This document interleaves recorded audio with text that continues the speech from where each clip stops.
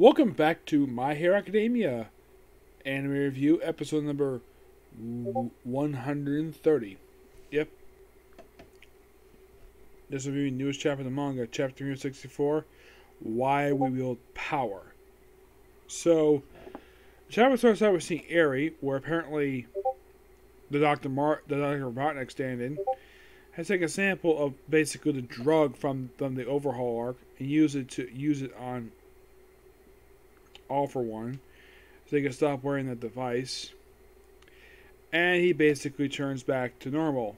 Yep basically all that damage that all might did to him years for the Adventure series all undone. Yep thanks rewind power. And he grabs uh, one of the superheroes. I think it's one of the and of course like takes her quirk and takes her cape as well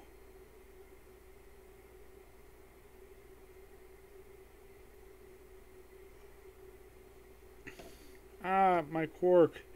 I don't remember who this one is. So it could be anybody. And you have Hawks basically trying to deal with this too.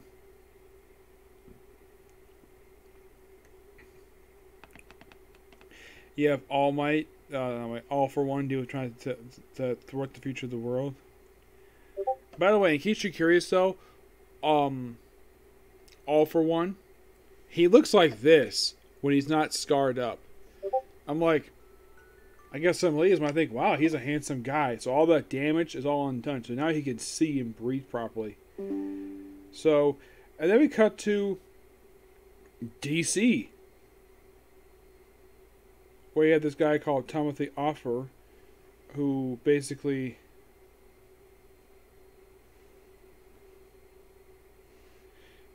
I'm not sure if this is basically a play on real life politics. This is kind of dumb. Most likely, we know if I got uh, Limit or not, the vision phrase has to face the danger he poses. And how we're getting crisis, unlike most of our nations, our nation is already split in half into the red zone, and you're to blame. I hope that's not a bl- I hope that's not. I hope that's not a, a jab at real life politics of the U.S. I hope not because it had been kind of stupid for a Japanese manga artist to poke fun at Jap- American politics. I mean, yeah, poke fun at some of the stuff we do, but fun at politics, that's not exactly a good idea, especially as basically it can cause a hornet's nest. So apparently, the the guy who apparently is supposed to be the president wants to leave this guy for what happened with Star. So they won't have a future. And we have the Secret Service apparently decided to draw their guns on the guy who apparently is not threatening the president. He is reaching his pocket for his picture.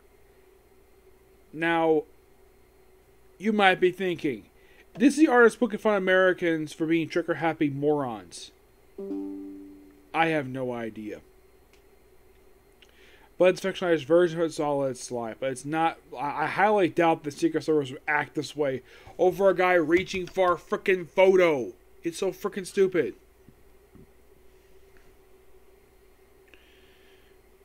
Um, All Might, of course, sees Star and All Might basically when he's in his prime. We see Bakugo still being recovered by his genius. And then Ninja Hero shows up. Yes. Edgeshot. Yes, I am Ninja. There's no, nothing wrong. I can infiltrate. And he stitches up Bakugo.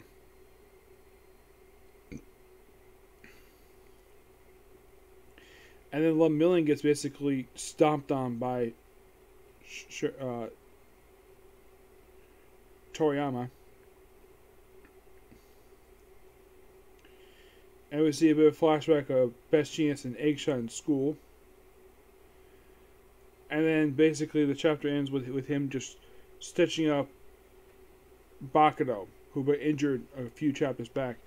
Yeah, this one kind of felt as though we didn't get a lot of progression here per se. Aside from seeing all for one is basically new new look, we don't get much progression here. Just basically just tiny bit of progression.